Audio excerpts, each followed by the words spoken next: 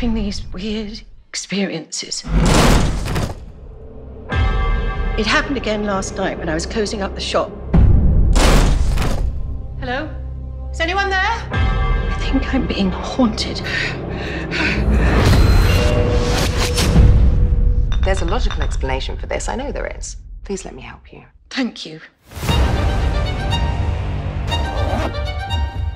I haven't had a case to work on for ages. This isn't a case. Indulge me. We're in the business of ghost busting now. I deal in facts, not conjecture. Letting all this mumbo jumbo get to you. She claims to be haunted. Because you haven't found an explanation.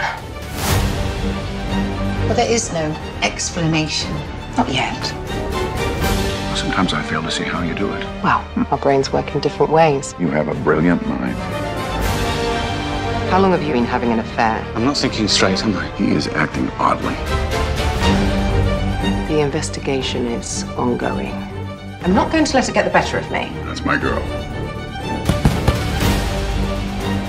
He's here. There's no one here. Lizzie! Helen is out there alone. And we'll find her. You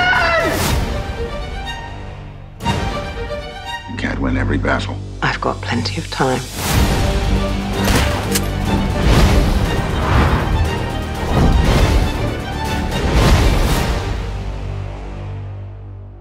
You're a trouble magnet, aren't you?